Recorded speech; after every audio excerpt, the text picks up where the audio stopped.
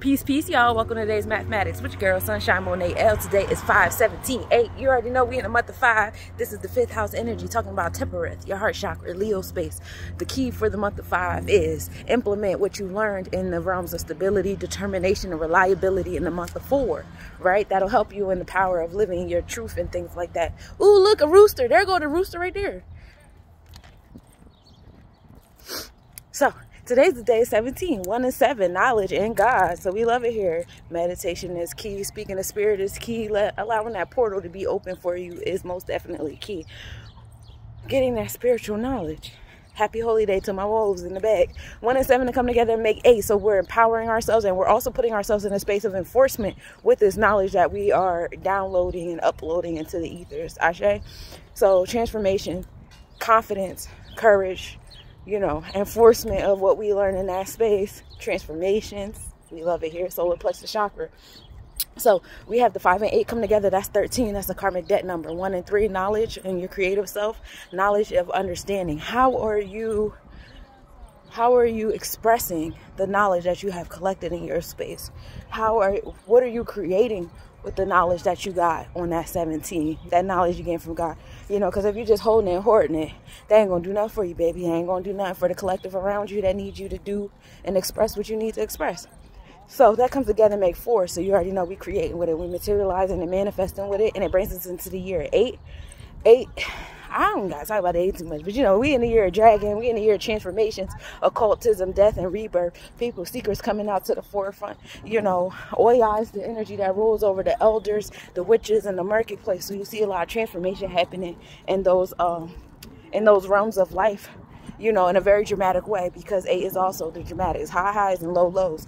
So when that four comes together, with the eight, it makes 12. So we on our one and twos, our knowledge and wisdom. Today is just a really good day to gain knowledge and wisdom and really implement and manifest and materialize with that for real, for real. Because that one and two come together and make three.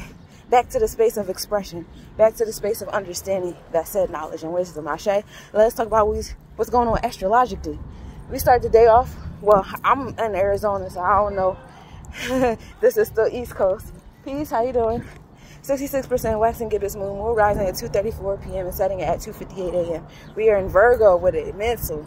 So that is the knowledge. That is the intellect. You see how the stars are always in alignment. We are in the Leo on the Vedic scale as well as Leo constellation.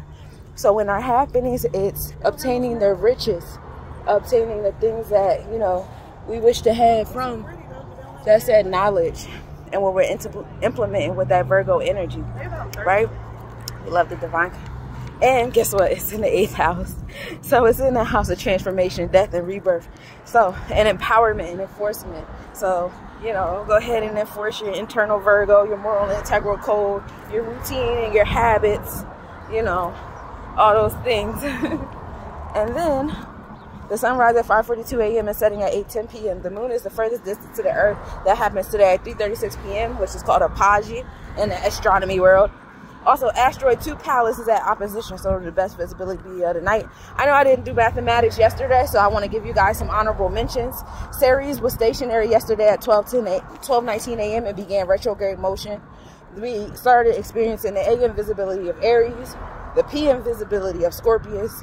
Mercury entered Taurus at 3.36 p.m. So now it's in Taurus in the ninth house on the zodiac scale. So materializing with our throat chakra is definitely in, in alignment with today's mathematics on this Venus day. And then, yeah, and uh, just to let you guys know, Ceres, as it's going retrograde, is in Capricorn in the fifth house. So it's providing that agricultural nurturing energy to our root chakra and going back to our inner child to heal some of those things happening in our root chakra, some of the traumas and challenges that we've had so we can do it new. That's what I got for you today, my guys. But Nobodies reach out to a goddess if you like a personal reading. Gang, gang.